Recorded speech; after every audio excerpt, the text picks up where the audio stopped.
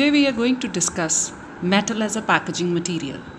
I am Dr. Mansimran Kaur Randhawa and I am a professor in Khalsa College, Patiala. Metal packaging plays an important role in the process of food preservation.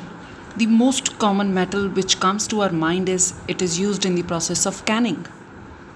Metal packaging has a double function. It provides protection against external influences provides storage as well as it, it is helpful for sales and information pack. The basic requirement for such a package is the hermetic tightness of the container. Now, what the container performance requirements? What are the container performance requirements? First of all, it must preserve and protect the product.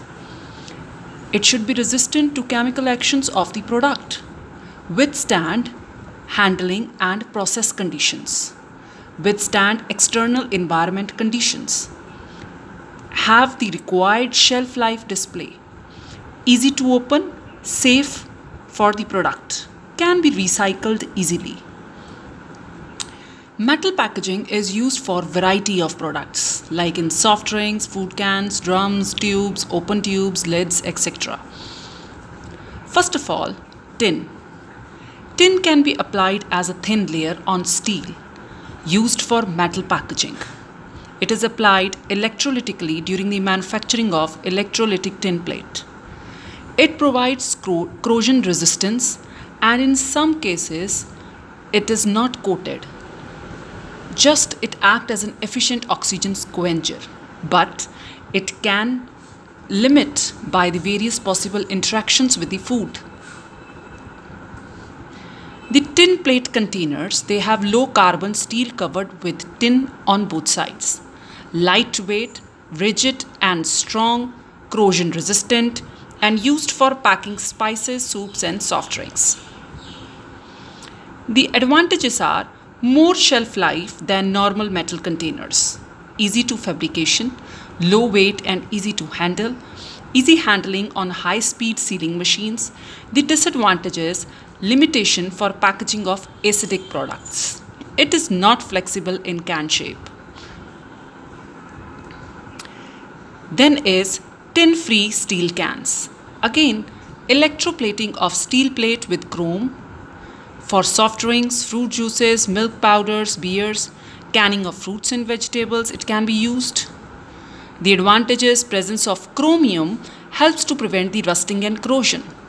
It is suitable for attractive printing, high internal pressure resistance capacity, suitable for low acid foods, not suitable for soldering and problems in welding, can't be recycled or reused. Then aluminium.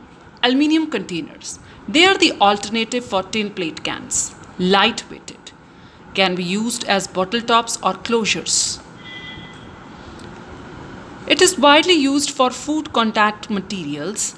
Aluminium alloys are used for food contact may contain elements such as magnesium, silicon, iron, manganese, copper and zinc.